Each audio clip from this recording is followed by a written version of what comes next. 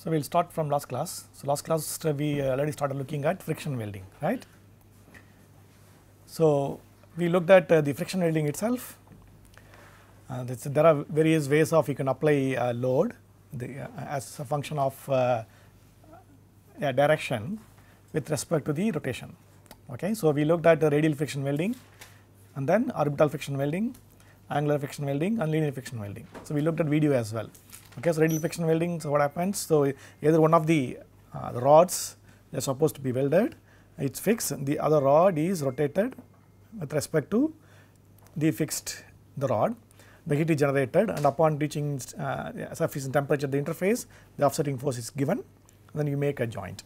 So, I brought one of the joints from um, our lab.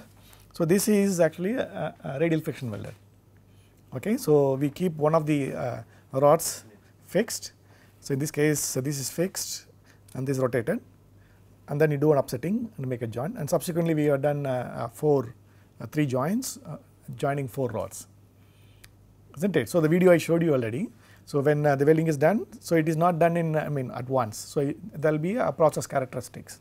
So, we initially um, rotate and make some joint so that the surface becomes smoothened and subsequently we increase the upsetting force, the RPM, rotation forward and the uh, rotational speed and the upsetting force right. So, if you can if you if you remove this flash and it look like an, uh, the actual rod itself right.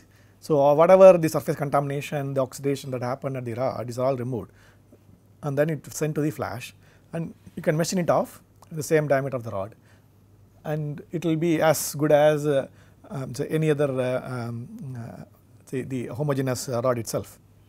Okay, so, this is stainless steel 316. Okay, it's one of the difficult material to weld. So, we could weld it very easily by uh, the radial friction welding, right? It's clear. So, we will after looking at the friction welding, we moved on to friction stir welding. So, friction stir welding, the difference between friction and friction stir and friction welding. So, you need uh, the interface itself is uh, rotating or moving with respect to the each other, isn't it? In friction stir welding, the interface to be welded, the faying interfaces they do not really move. Instead, we have a tool which actually plunge into the, uh, the interface and then rotates at the interface creating a frictional heat and uh, apart from the uh, heating we also have a mechanical deformation right. So, the tool itself deforms the carries the metal around the pin from one interface to other interface right it is clear. So, it is like you know inserting in a small nail at the interface and rotate the nail and there is an interface heating between the pin and the tool, uh, tool and the interface and during this rotation and because of the high temperature material also heats up and it becomes easy to deform and deformation happens and the material is carried forward from one interface to the other interface, is not it? It's clear? Okay. So, in friction stir welding, so if you look at, so the important process parameters, say we looked at the shoulder itself mm, and the pin so, I am just drawing a very simple sketch of a friction stir pin and the interface to be welded. So, it is actually somewhere over there. So, pin is actually inserted onto the interface and then you make a mechanical deformation is not it. So, this mechanical deformation happens from one interface to another interface creating a, a, joint at the interface. And there are a lot of process characteristics. Okay. So, the RPM of the tool itself, the material uh, tool material. Okay. In most of the cases, we like to make it with uh, a material which does not soften at higher temperatures, right? And it also have a very good wear resistance. So, that is the reason you know, uh, welding uh, uh, hard materials even steels using friction stir welding process it is difficult because the tool it should withstand the, the temperature the wear uh, that is happening during welding.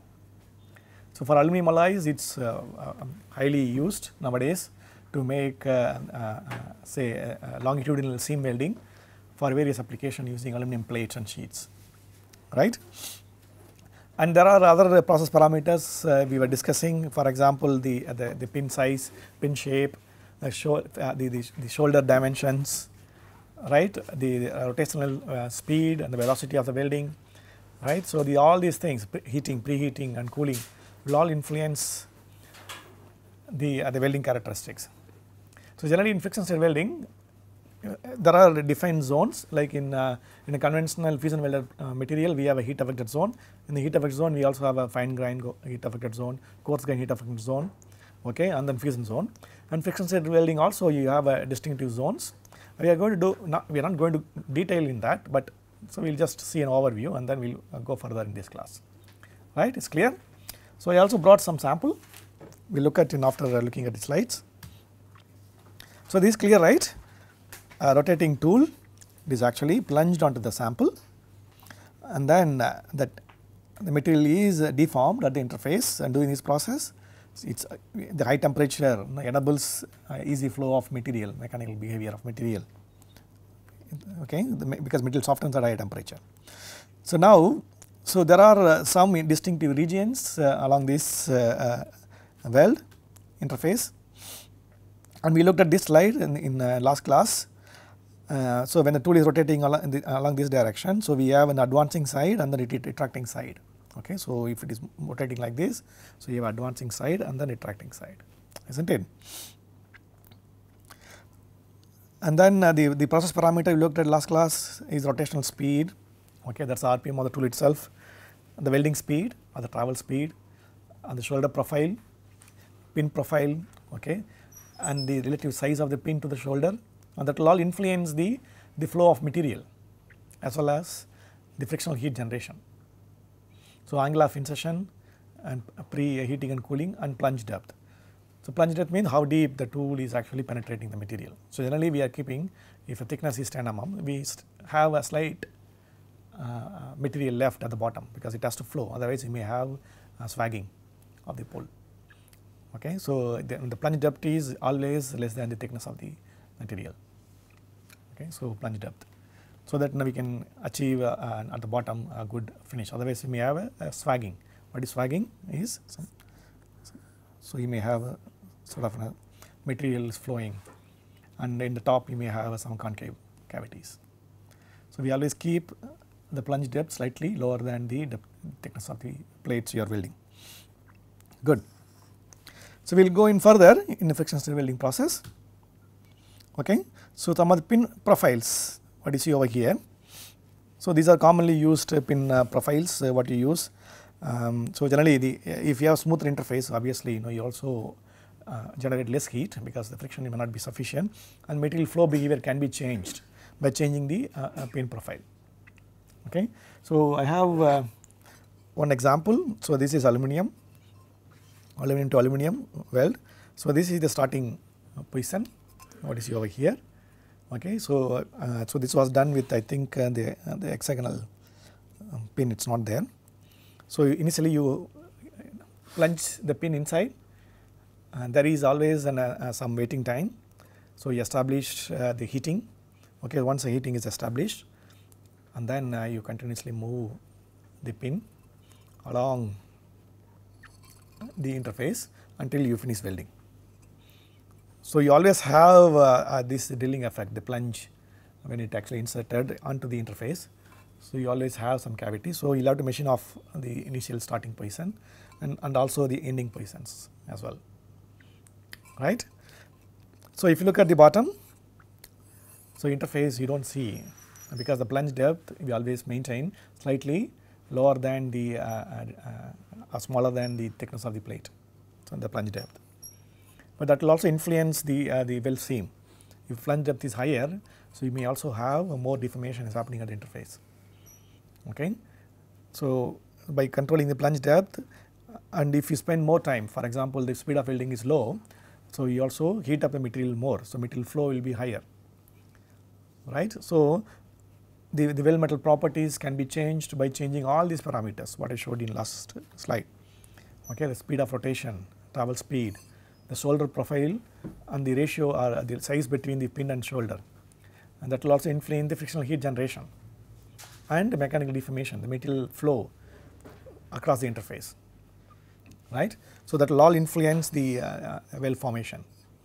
Okay. So, as I said this is very widely used for aluminum alloys because aluminum alloys generally they are actually very uh, what you call naughty So when you are doing it a, uh, using arc welding because of hot cracking issues, uh, the issues uh, with uh, uh, thermal conductivity, okay, and distortion, stress generation, and the precipitation hardened aluminum alloys they have a severe softening the fusion zone. You'll have to do an post heat treatment.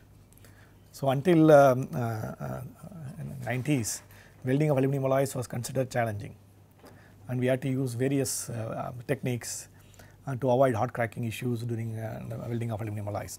So once the friction stir weld uh, you know, came into picture, so for most of the uh, uh, applications which requires a longitudinal welding, like uh, the video I showed you, for making an aircraft uh, fuselage, okay, structures which demand uh, uh, a, a very large seam welding.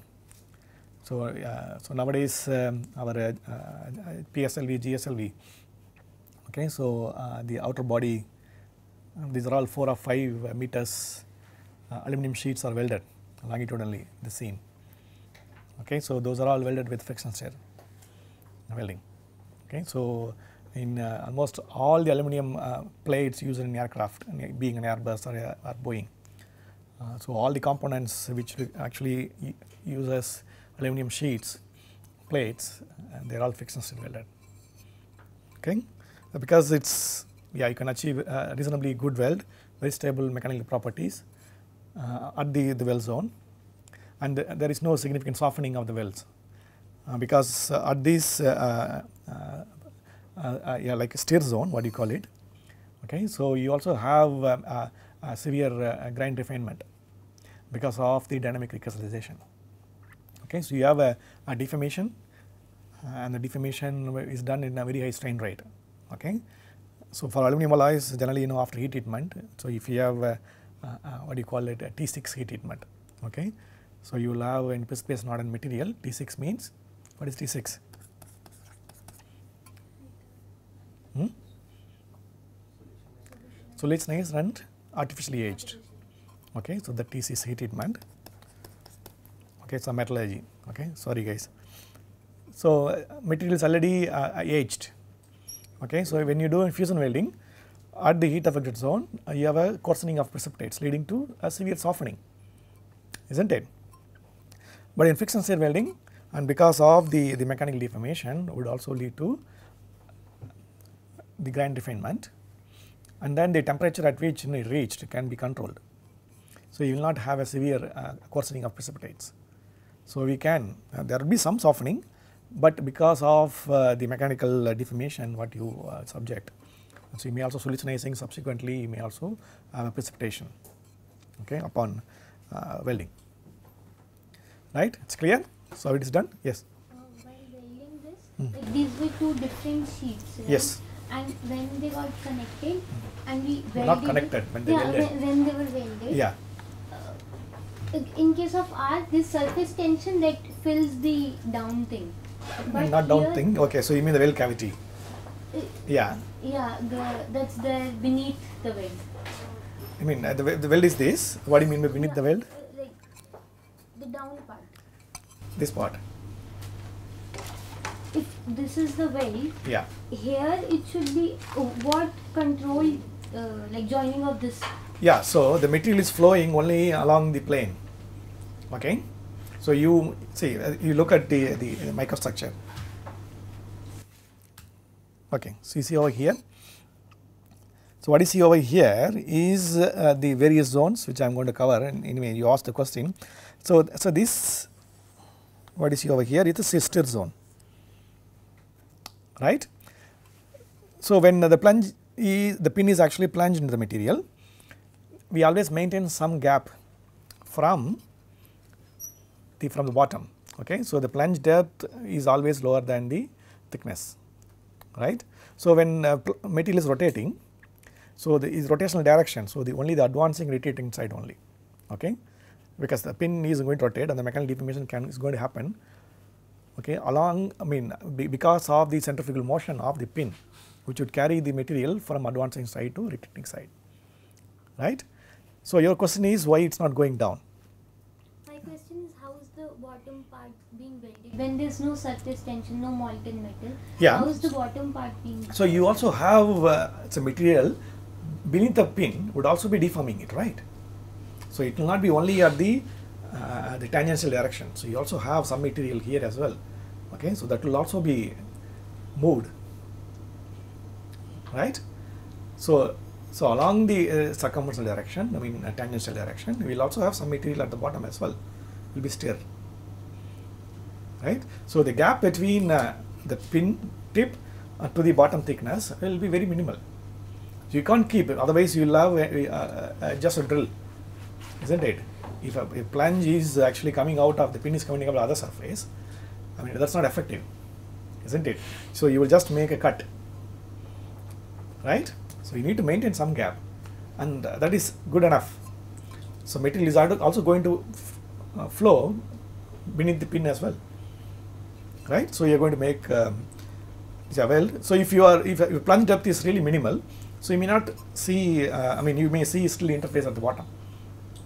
Okay, so now this this, this is just enough. So there is not extra material uh, which has to be machined off, but you don't see the interface. You see the interface at the at the edge here, but these regions you don't see the interface.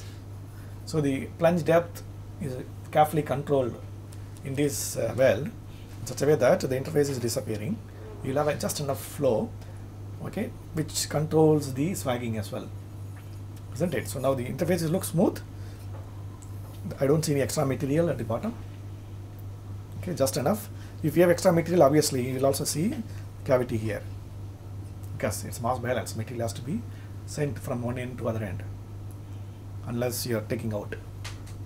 So this is perfectly welded, uh, fixes the welded aluminum plate.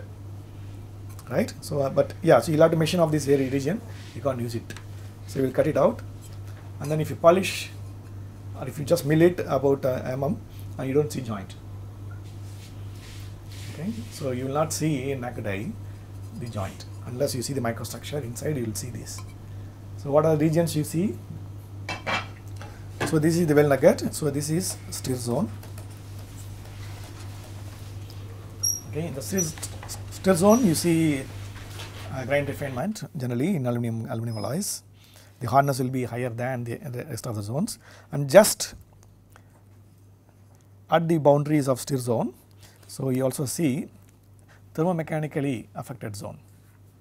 Okay, so in this case the temperature uh, will be much higher and when you move away from weld center line, okay, so you also see a thermomechanically affected zone. That means that you also have some mechanical deformation, but that is not sufficient to cause a plastic flow.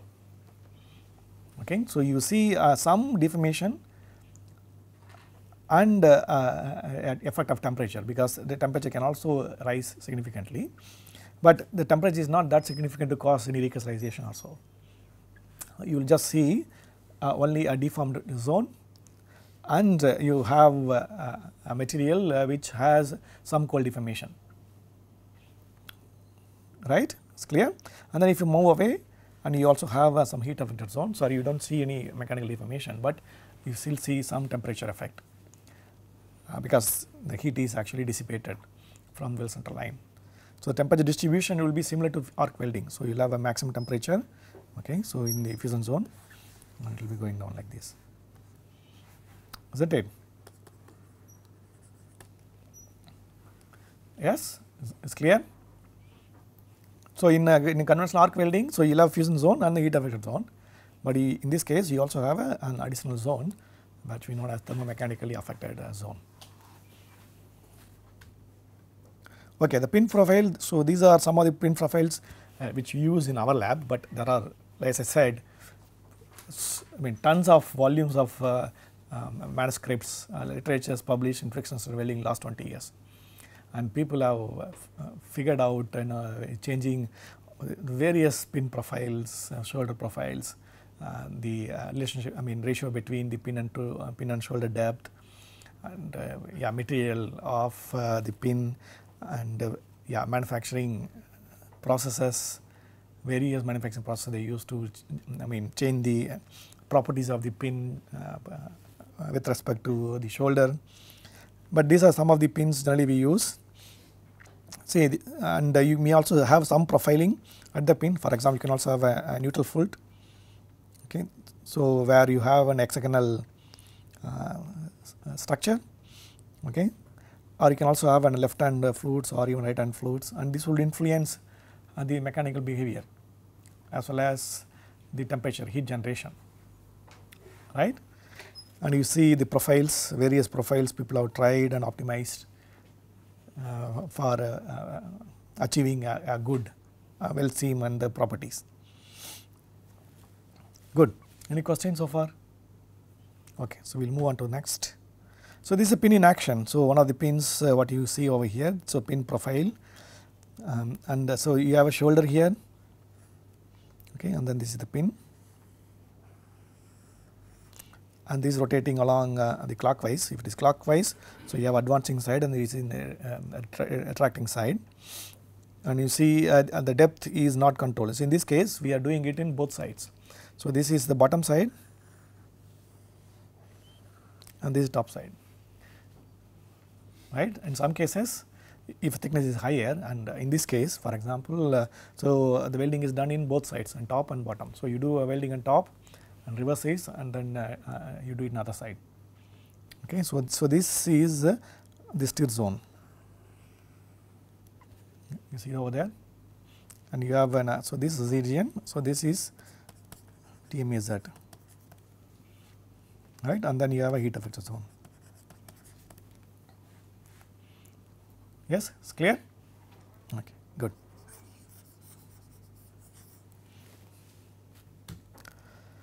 so this I had explained it's the various zones that are present in friction stir welding.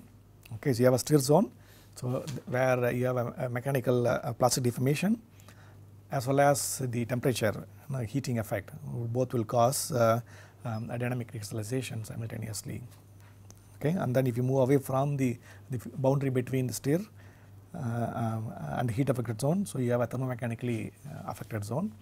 Okay and then if you move further you don't see any uh, real mechanical deformation you'll see only the effect of temperature. Okay so that's we call it a heat affected zone. Yes it's clear? Good. So what are the positions that can be uh, you know, welded using a friction stir so one of the the major disadvantage of friction stir welding so the accessibility. Okay so you cannot uh, uh, same as resistance spot welding. You cannot weld it when uh, uh, you can't access the joint uh, with a pin and shoulder isn't it so you need a reasonable accessing. Otherwise you know, how are you going to insert uh, a shoulder and pin and then make a linear weld? So in most of the cases we can change the positions. We can play around the geometry of the weld in such a way that you can still achieve the weld. So this is the the most used configuration. So that's a butt weld. Okay, so if it is T joint, generally in T joint arc welding we, we do a fillet weld, isn't it? Okay, so similarly what you see over here. But you can also do in this case in friction spot welding, so you attach in clamp it and then do uh, still a butt weld. And such a weld welding in a, in a arc welding case, it is not advisable, right? So you can also do yeah same configuration so you can also do an, an, um, two welds and in, you can achieve an, a T configuration or in this case uh, uh, overlap joints okay so you can uh, also make make sure that you know you have some mechanical deformations happening at the bottom plate as well so you can have a simple overlap joint without any preset gap okay and multi sheets so, so these kind of uh, layer by layer deposits. So in this case, it's not really in a friction free-form fabrication, but you stack layers into the layers and then uh, do a friction welding. Okay. So and uh, yeah, so various configuration it is done, and this is bit tricky. So T joint configuration. So you have to make sure that you know, pin is plunging onto the interface, and the interface should be you know, clamped. So that's why you know when I presented uh, uh, started this unit, the tooling, allowable tooling we need to have. So in this case, if uh, if the load is the clamping loading is not maintained, it's going to deform, isn't it? So then the weld uh, integrity will not be achieved. So you may have uh, defects in overlaps. Good. So these are the positions, and so compared to all the positions, this is most commonly used. It's a simple butt joint, butt weld. Right? It's clear. Good. So there are some uh, various vari uh, modifications. As I said, last 20 years people have tried so many, and people also you know use nowadays uh, friction stir uh, to weld plastics, woods, wood, solid wood. Uh, so they are all welded using friction. Okay. Uh, so for plastics, um, so one process actually right now it is commercialized. It's called um, uh, blade or whip blade welding. So how it is done? Actually, it is very simple. So what it is done is now we insert in a small blade, steel blade into the faying interface. Okay, so this blade goes inside, and then you have a vibration. So you have a, a linear vibration. Okay, so linear friction. The blade is vibrating, but you have downward force. So blade vibrates and generates heat, and you also apply uh, some pressure. So once the temperature reached, you, you, do a, a slight uh, pressure, so that the material can flow with the temperature. Okay, so the, so you have a downward force, and this is the tool. What you see over here, so, and then you insert in a small uh, the blade you see here, isn't it? So these are attached to the tool. You clamp two plates. So in this case, blade is commonly used for plastics. So this this blade actually vibrates okay along the interface and simultaneously you vibrate and the entire tool is moving isn't it. So this vibrating uh, blade causes the interface to heat and uh, the, the, the, the plastic at the interface it starts flowing makes a joint. Right? Okay so that's possible. So uh, there are equipment now available to join woods wooden blocks and plywoods by uh, linear friction welding. So one block is kept and the other block is vibrated and you apply a downward force and you can join uh, two wooden blocks. Okay so there is a friction enables the heating and uh, localized flow of uh, wooden particle causing a uh, joint right. So, bamboos uh, they are also welded using an angular rotation welding. Uh, so, you, yeah, so I have seen various videos my students used to forward. So, there is an, an welding for bamboos you know, using an angular friction welding okay yeah good. So, the other variants uh, instead of have linear reciprocating uh, motion, so you also have a vertical reciprocating motion. Okay, you still have the blade, but instead of going uh, a linear way, so you also have a vertical going up and down, isn't it? And this can also cause heating at the interface. So, the clamping, clamping of the plates enables mechanical deformation across the interface and you end up making a joint. Yes, it is clear. So, ultimately all the process parameters are important what I talked about. Okay. So, in this case uh, the, the vibrational frequencies right and the blade configuration instead of having flat blade you can also have some profile on the blade okay, that can change the uh, local heating as well as the deformation mechanism of the interface. Okay. And then uh, the amplitude of uh, vibration. So, in, in uh, the, the, the, the pin material itself pin to shoulder uh, ratio. Okay, so all these process parameters would carefully be controlled to achieve a, a nice weld like this. Yes? Any questions so far? Yes or no? Nope. Okay, we'll move on to the some of the uh, theories and then we'll move to the next welding process, right? So, so friction stir welding, so what are the advantages? So, main advantage of friction stir welding is in my opinion, so you can uh, weld a softer material, a material which can flow easily, hmm, right, or material which softens easily with the temperature, okay. So, aluminum alloy, okay, I mean it softens uh, significantly when the temperature is increased. So, right and uh, the material uh, with uh, good ductility at elevated temperature can be welded very easily using friction stir welding okay and we can increase the productivity. So, for example, in this case, so this is about say 5 mm thick. So, if you are using an, an, a simple uh, gas nut gas tungsten arc welding, so you need to have a filler uh, unless you use a plasma. Okay, so that, that increases the time of welding, also cost right. But in this case the welding is achieved at significantly less time without using any filler material, right. That means that productivity increases and especially in, if you increase the thickness in further in a conventional fusion welding, so you have to use multiple passes and there are a lot of problems associated with the uh, fusion welding itself, right. So, you can achieve a continuous seam welding. So, welding can be done continuously uh, infinite distance as long as you have a, a proper tooling in place. Okay. And uh, the most of the cases we do not generate flat a flash especially in friction stir. In friction welding you still have flash is not it. So, this friction weld as I showed in, uh, in, class, but you have to remove the flash right. In friction stir you do not need to remove the flash. Okay. So, only thing is during the start you may spend some time the initial waiting period to achieve the uh, enough heating. So, you will have to just machine off the, the start position and the process can be automated. So, you can also have a robot it is it is a machining in a way. So, you have a drill uh, milling machine and drilling machine can be converted into an friction stir. So, you can also achieve uh, complex geometries weld in uh, various configuration in butt weld. Okay.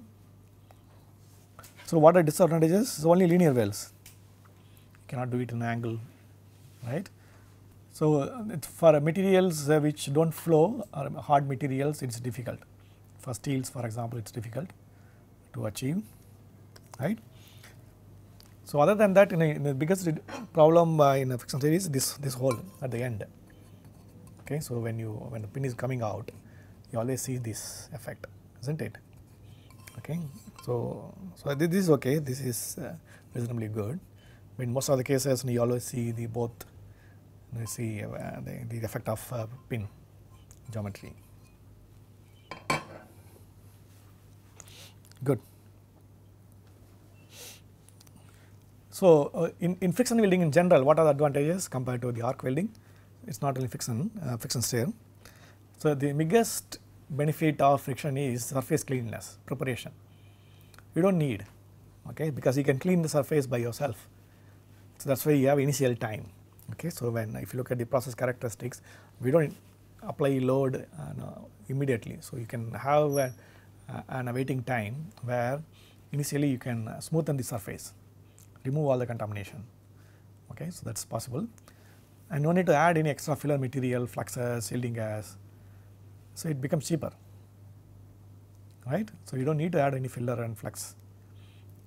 So, you do not have solidification microstructure at the weld. So, the, the, all the problems cracking issues uh, and segregation uh, associated with the solidification they are not there okay. So, you do not have uh, hot cracking or inclusion formation or some porosity formation okay. And it is also possible to make an, uh, a transitional joint. So, suppose if you are welding a two dissimilar material, so aluminum and uh, steel okay. So, you can also have a transition layer which lay, which is actually compatible in both material right. So, in most of the cases when you are welding steel and aluminum it is always good to have a galvanized layer because the zinc is compatible with both aluminum and steel. So, the joint integrity will be much better okay. Or you can also try uh, for example have a butter layer and you can deposit say aluminum copper and then copper iron you can deposit or aluminum nickel copper uh, aluminum nickel steel. So, you can also it is also possible to make a transition joints okay. So, that you know uh, uh, at, the, at the interface say possible intermetallic formation can be avoided. The other major advantage is low labor cost good. So, we will move on. So, what are the disadvantages? So, there must be some symmetry is not it in friction welding right. So, if this rod one rod is slightly larger than the other rod the diameter is larger and it is very difficult to weld is not it. So, you will not achieve unless you know it is very difficult unless you do an angular uh, weld or orbital weld. So, you need some symmetry at the interface especially friction stir if dissimilar thicknesses it is very difficult to achieve right. So, you can't do it in a slave overlap configuration unless Yeah, uh, yeah, so you need to study, arrive at uh, the welding procedures, right? So some symmetry should be there. So if you need an, uh, I mean, some extent it can be overcome by friction stir, but still you cannot go for an, uh, highly unsymmetrical uh, interfaces uh, by friction welding. Okay, so it's uh, not all the configuration is possible. Okay, especially you know in a friction studies generally it's not avoided if you for uh, circular pipe configurations. It's very difficult to do, do continuous seam welding in a 5G configuration. Okay, so flat, angular, some extent, and butt configuration as showed in the previous uh, slides. Okay, and the major drawback drawback of friction friction stir is uh, material itself. Okay, so material should plastically deform, isn't it? Uh, so if material is hard, it doesn't really soften. So for example, superalloys. So these are the shortcomings of the friction welding itself.